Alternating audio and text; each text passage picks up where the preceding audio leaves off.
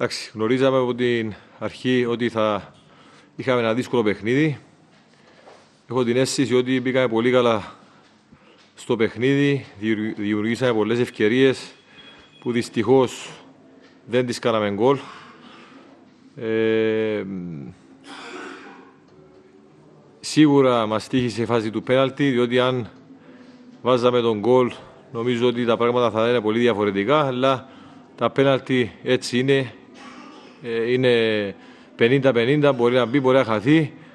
Συνεχίσαμε, βρήκαμε τις ευκαιρίες πάλι εμείς χωρίς να κινδυνεύσουμε ιδιαίτερα. Νομίζω ότι τις μεγαλύτερες ευκαιρίες στον αγώνα τις είχαμε εμείς. Ε, πετύχαμε άλλα δύο γκολ, τα οποία ακυρώθηκαν από το ΒΑΡ. Έχω δει φωτογραφίες, δεν έχω δει βίντεο. Ε, στο ΒΑΡ νομίζω ότι ε, πρέπει να, είμαστε, να, να είναι και οι βαρίστες πιο προσεκτικοί, διότι αν δούμε από τις φωτογραφίες, ειδικά στο δεύτερο, ένα από τα δύο, η μπάλα είναι ε, μερικά εκατοστά ήδη έχει επεχτεί και ε, βλέπουμε ότι η μπάλα δεν είναι κολλημένη στο πόδι του ποδοσφαιριστή μας. Τώρα δεν ξέρω πώς ε, λειτουργεί το ΒΑΡ, ε, ούτε είναι δουλειά μου, αλλά νομίζω ότι ε, δεν ξέρω μάλλον, δεν, ξέρω, δεν μπορώ να πω πώς ε, μπαίνουν οι γραμμές, πρέπει να το κοιτάξουν οι υπεύθυνοι αυτό. Δεν είναι δουλειά δικιά μου. Από εκεί πέρα είμαι ευχαριστημένος από την προσπάθεια. Σίγουρα το αποτέλεσμα δεν ήταν αυτό που θέλαμε.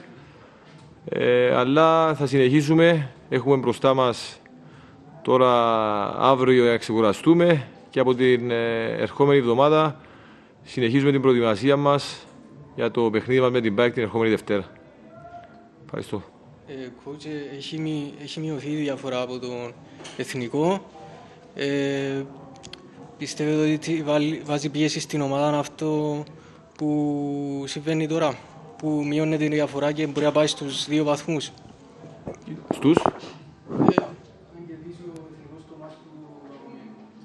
Εμείς ε, βλέπουμε τη δικιά μας ομάδα.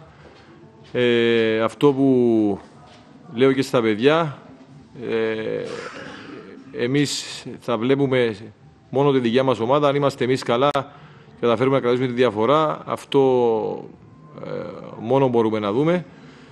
Και αφήνουμε στην άκρη αυτό το παιχνίδι. Ε, από τη Δευτέρα αρχίζει η προετοιμασία για το παιχνίδι της ε, ΠΑΕΚ. Ευχαριστώ.